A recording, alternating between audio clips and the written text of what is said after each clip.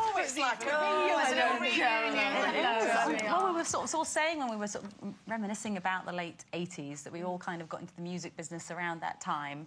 And, w you know, it was obviously very exciting for you back then because 87 would be the year. Was that when Kids in America happened for you? Well, Kids happened in 81. Um, 87, 88 was around that time that uh, You Came video was made. 'cause that Oh, was I was right. on the Michael Jackson tour. So would you and, say and you then, were... and then the 86, I think, was when I had the number one with Yeah. um, Hanging On.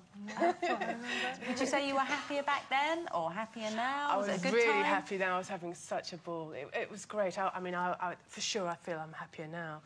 Um, I've got two great kids. I've got a lovely family life. I've got a good health, and much. I, I, think I appreciate things more now. I was always one of those girls who was sort of thinking, oh, you know, round the next corner, something better's going to happen.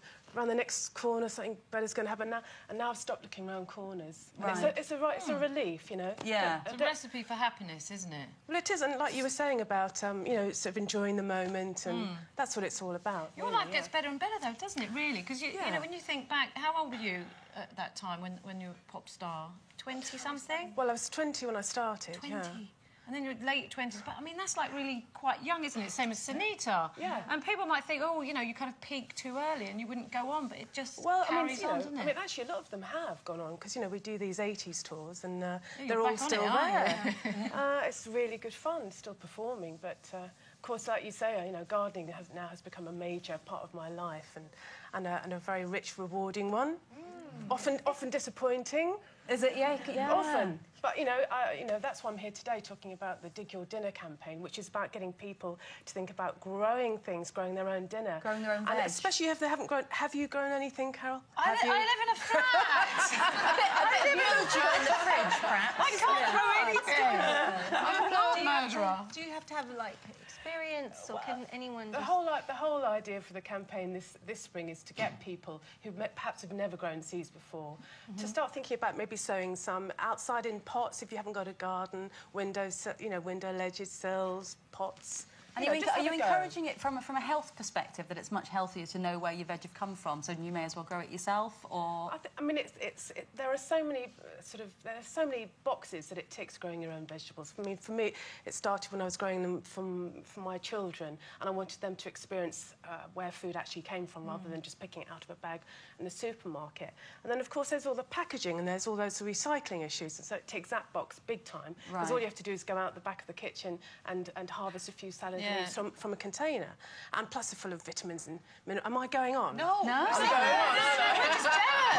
did, did you sort of get your kids into that at quite a young age? Because we were also talking about how good you are at child's play and rolling around the floor with Oh, kids yeah, and so stuff. I'm and with, that I'm with most of you on that one. I, I you know. No. not into? Didn't you ever get down into a bit of housing, chucking it around? I tell you, the, the, the, most, the worst thing was when they got me at Center Parcs and they got me um, do, going down those awful slides. Have you ever had to do that?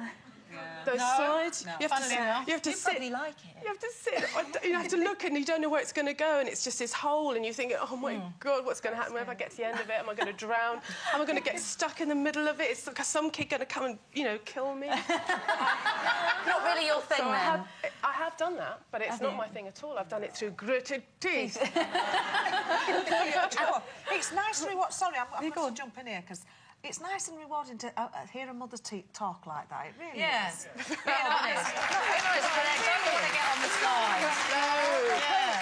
I know there's so much guilt that pour, you know, that gets poured on parents, and especially you know, uh, mums. I think probably we get a lot of. Uh, Lot of guilt flack. thrown You're at never us, doing it the we? right way, are You're not you? doing enough of this. You're is not doing enough of that. You mean you, you? You mean you don't? You know, I mean, any mother would know the bedtime story when you kind of like think, oh, there's five, eight, ten pages here.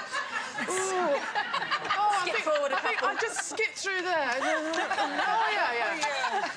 And they all Done lived that. happily And- ever after. What about your life? Have you had life mottos or come across any good sort of philosophies in life that you've lived by or wish you had? I think certainly, um, you know, remembering that there's always someone off worse than yourself. And I mean, it's a very, it's you know, there are some things that happen to you, and you think, and you can feel yourself going into one. And I could feel myself going into one at Terminal Five the other day. Oh, yeah, I was going into one, and I was just about to do some live shows, and they'd lost my luggage with all my stage clothes in it. all my Listen, I'm so sorry, we're just about out of time. Oh, no! but we can imagine how it ends. Thank you so much, Kim Wilde.